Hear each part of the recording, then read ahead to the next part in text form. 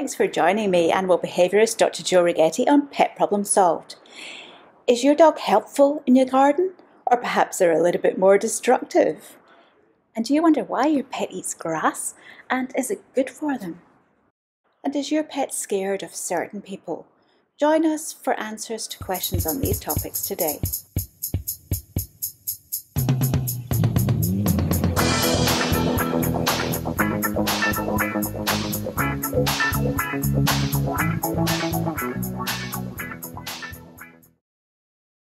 Why does my cat hate my boyfriend?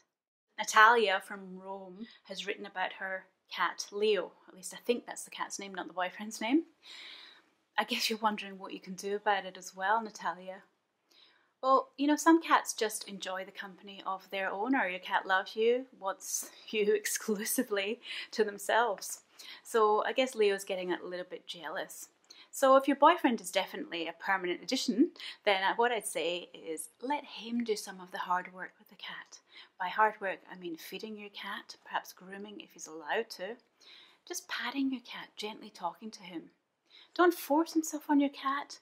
Just do some positive things. So perhaps when you're sitting together, you can both be talking to the cat, perhaps both of you feeding some treats, and then he can take over the feeding routine, the grooming routine. That way, the cat will start to really appreciate your boyfriend, and hopefully, you can have some beautiful time together.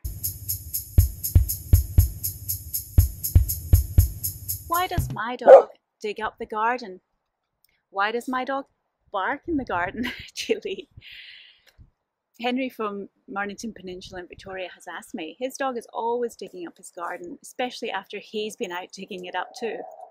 Well, I guess for dogs it's fun. If we're gardening, why shouldn't they be gardening? In fact, perhaps they can even help us dig up some patches. However, dogs don't know what are precious plants and what aren't. We have to instruct them.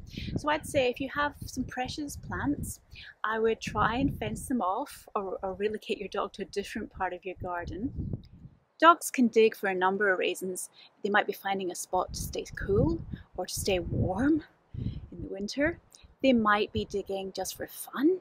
They might be digging to burn off excess energy or perhaps because they have a little bit of separation anxiety from you.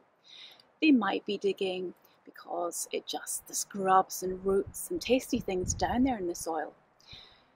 Instead of stopping them digging, perhaps it's better to encourage them to dig in an area like a sandpit that you provided. So one of those children's sandpits with a few toys or treats dug in there will encourage them to dig in that area. But you probably do need to fence off your precious areas too.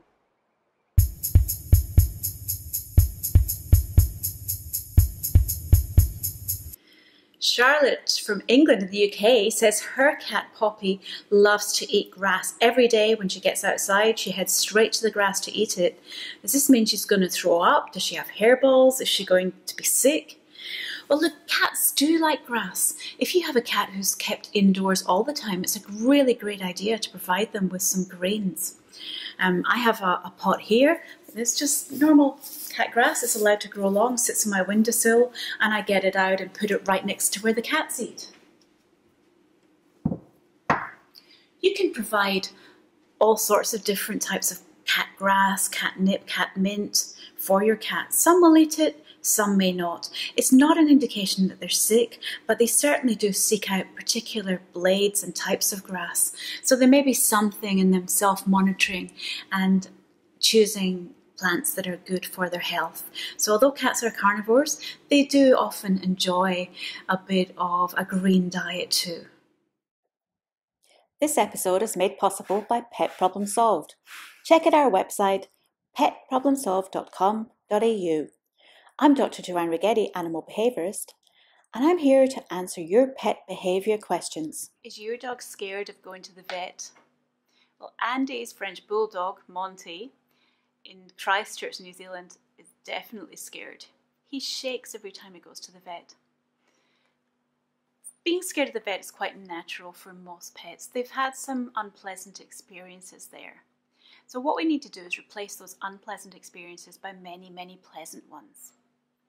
So take your pet to the vet as often as you can. If you're going past the vet, just give them a call and say, Do you mind if I pop in?